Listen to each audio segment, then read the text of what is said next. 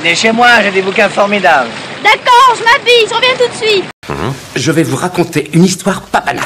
J'allais vous le demander. C'est un bon livre Très mauvais, quelle importance Madame, le droit de navigation sur le Yangtze Kiang vous est formellement reconnu par la Convention du 3 août 1885. Contesteriez-vous la chose? Modeste, donc vraiment intelligent. Et maintenant, on va retrouver Bobonne, les mots croisés et la radio. Bande de pignons Il était une fois Candide de Voltaire.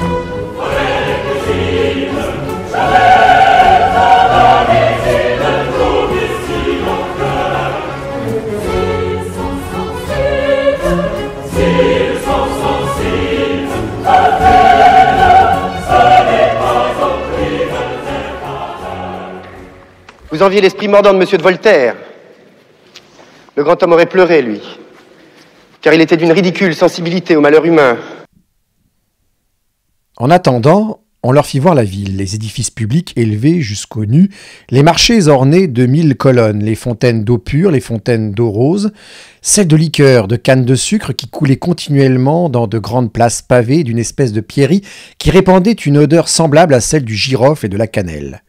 Candide demanda à voir la Cour de justice, le Parlement. On lui dit qu'il n'y en avait point et qu'on ne plaidait jamais. Il s'informa s'il y avait des prisons, et on lui dit que non. Ce qui le surprit davantage, et qui lui fit le plus de plaisir, ce fut le Palais des Sciences, dans lequel il vit une galerie de 2000 pas, toute pleine d'instruments de mathématiques et de physique.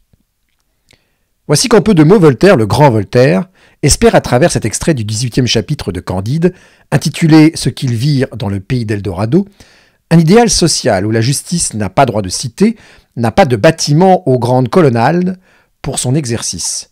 Rassurez-vous, le philosophe des Lumières ne tourne absolument pas le dos à l'idée de justice, mais clairement dans son pays imaginaire, l'Eldorado, il n'est point besoin de rendre la justice à travers les parlements ou la bouche d'un juge. La raison, le savoir, les sciences tiennent lieu de garantie contre le crime. L'instruction plutôt que la prison, voilà bien une idée moderne de la prévention contre la délinquance et le mal, que reprendra un siècle plus tard, notamment un certain Victor Hugo. C'est évidemment tout le sens du fameux Il faut cultiver son jardin, que promeut l'autonomie de la volonté et le travail contre le fatalisme du meilleur des mondes de Leibniz. Mais là n'est pas notre propos du jour. Non, ce qui est intéressant à relever en creux dans cet extrait, comme dans bien d'autres de Candide et même de Zadig, avec par exemple Dans mon malheur, je voulus m'adresser à la justice. Il me restait six onces d'or. Il fallut en donner deux onces à l'homme de loi que je consultai, deux au procureur qui entreprit mon affaire, deux au secrétaire du premier juge. Quand tout cela fut fait, mon procès n'était pas encore commencé, et j'avais déjà dépensé plus d'argent que mes fromages et ma femme ne valaient. Je retournai à mon village dans l'intention de vendre ma maison pour avoir ma femme. C'est à la fois le caractère arbitraire de la justice institutionnelle et la gabegie qui l'entoure que Voltaire dénonce. Dans Candide ou l'optimisme, paru à Genève en janvier 1759, Candide est un jeune garçon vivant au château du baron de Thunder Ten Tronk, qui se trouve en Westphalie. Candide est chassé de ce meilleur des mondes possible à la suite d'un baiser interdit échangé avec Cunégonde, la fille du baron. Candide découvre alors le monde et va de déconvenu en déconvenu sur les chemins d'un long voyage initiatique. Chaque étape de ce voyage présente l'occasion pour Voltaire de marquer une injustice de l'infortune du héros, tantôt aux prises avec les événements, les voleurs, les marchands, les meurtriers, mais aussi tantôt responsable lui-même des infortunes qu'il provoque. Alors chacun connaît l'engagement, bien que tardif, de Voltaire contre l'arbitraire du juge et le système d'épreuves sous l'Ancien Régime. Je n'ai pas envie aujourd'hui de revenir sur son engagement dans l'affaire Calas, prétexte à fustiger la religion que la justice en elle-même, ou dans les affaires Sirven, la Litolandale et du Chevalier de la Barre. On s'en rapportera ainsi à la Gazette. Chacun de ces combats fut l'occasion de consacrer la légalité des délits et des peines que Beccaria théorisa en 1764, marquant symboliquement l'avènement d'une nouvelle rationalité pénale, rompant avec la rigueur et l'arbitraire de l'Ancien Régime. Voltaire en écrira même un commentaire célèbre en 1767. Le juge il les condamne d'abord à trois ans de prison et il leur accorde un sursis.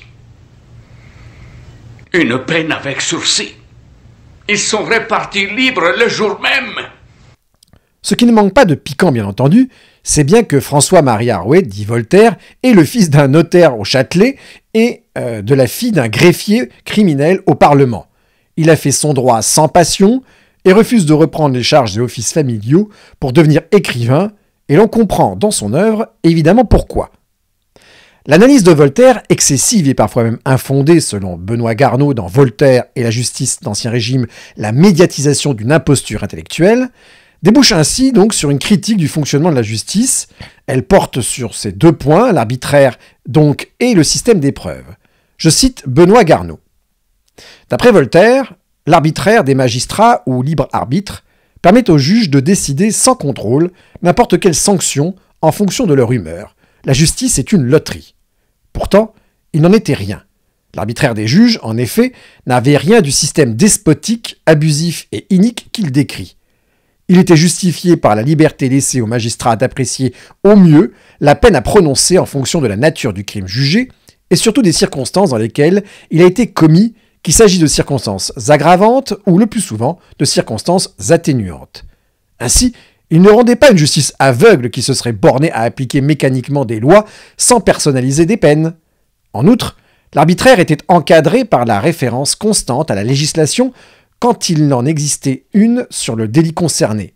À la fin de l'Ancien Régime, presque tous sont dans ce cas. À la jurisprudence, elle fournissait des exemples et une inspiration aux magistrats, mais n'imposait pas une obligation contrairement au système anglais de la common law ainsi que par la surveillance des parlements, les cours d'appel de l'époque, qui harmonisaient in fine la pratique pénale. Le plus souvent, ils réduisaient ou supprimaient les peines décidées en première instance, et qui corrigeaient les éventuels abus commis par les tribunaux subalternes. Quant au système d'épreuves, l'épreuve légale, poursuit Benoît Garneau, qui vise à l'établissement de la culpabilité par des moyens plus clairs que le jour, en l'occurrence l'aveu, les témoignages, à condition qu'ils soient fiables et concordants, il en faut deux pour constituer une preuve complète, où les indices indubitables, Voltaire conteste sa fiabilité. Les aveux, dit-il, peuvent être arrachés sous la torture, la question préparatoire, les témoins peuvent se tromper ou mentir, les indices risquent d'être mal interprétés. Il voudrait donc mieux, d'après lui, prendre en considération ce qu'il appelle les preuves morales, qui serviraient à former l'intime conviction des juges, notion alors prohibée par le droit. Pourtant, en autorisant à condamner un accusé qu'avec la certitude concrète de sa culpabilité, le système d'épreuves légales fournissait au justiciable une garantie essentielle d'équité. Il était certes faillible, comme toute entreprise humaine, mais l'intime conviction prônée par Voltaire est sans doute encore bien davantage.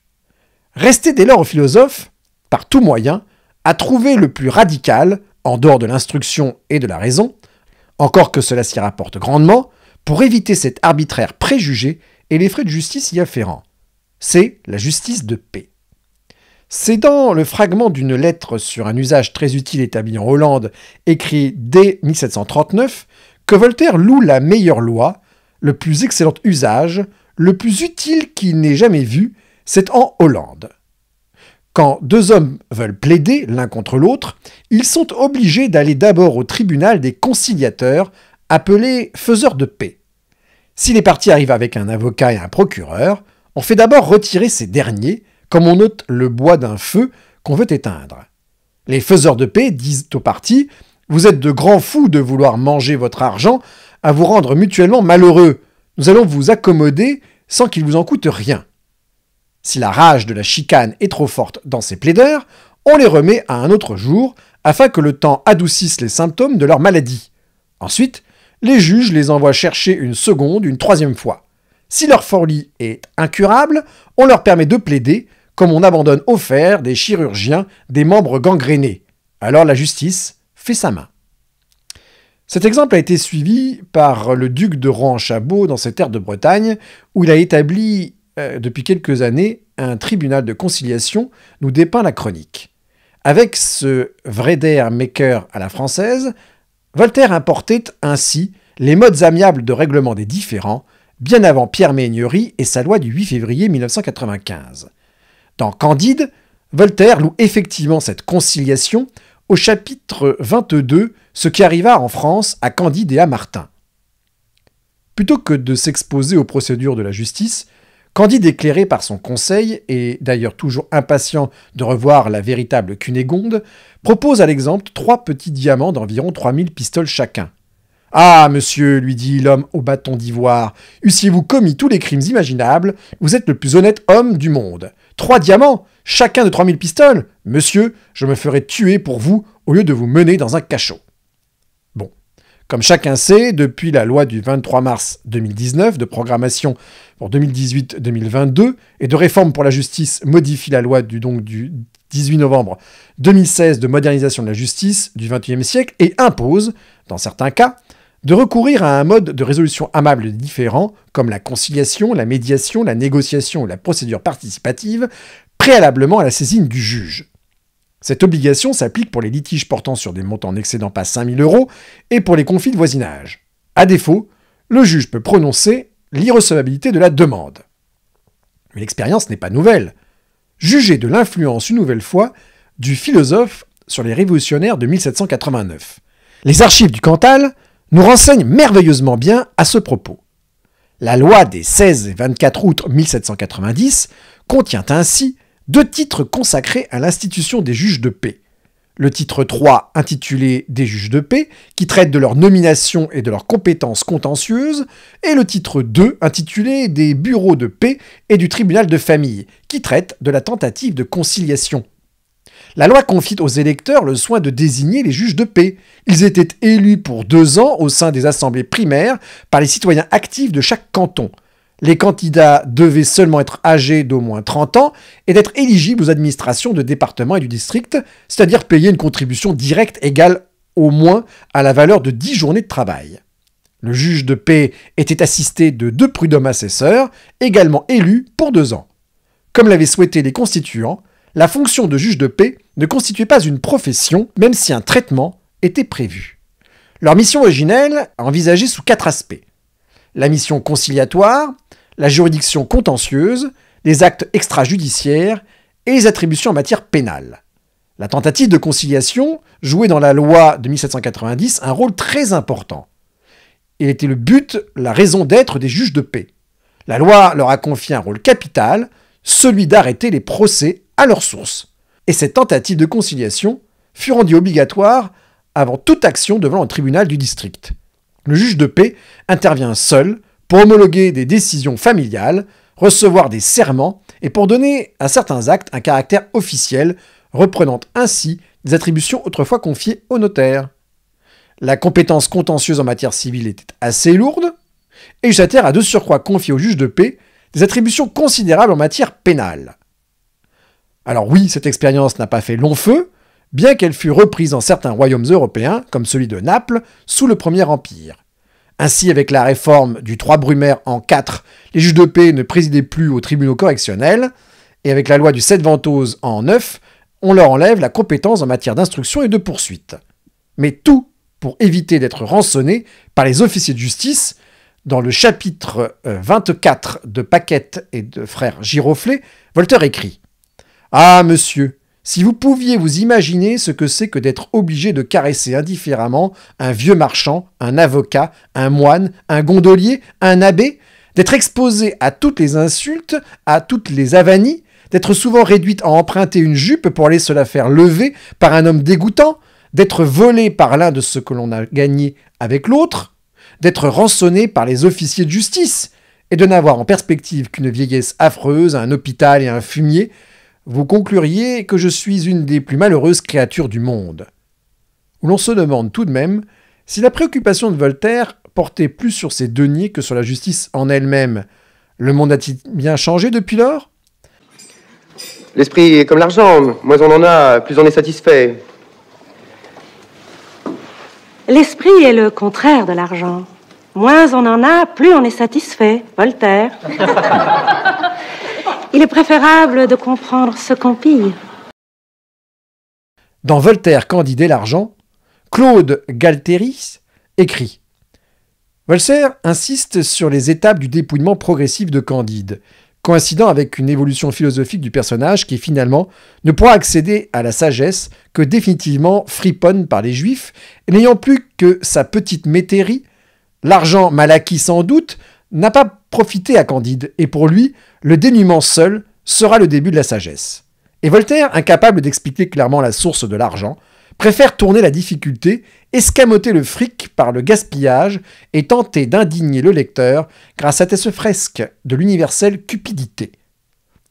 Parce que Voltaire est une source infinie d'inspiration, notamment juridique, je ne vous conseille que trop de lire ou relire Candide, et de prolonger, même avec Zadig, deux contes philosophiques qui promeut les nouvelles idées de son temps, et comme nous l'avons vu, aujourd'hui même, celles de notre siècle. Je vous remercie pour votre fidélité, et je vous dis à bientôt pour un nouvel épisode d'Il était une fois, le droit, sa vie son œuvre.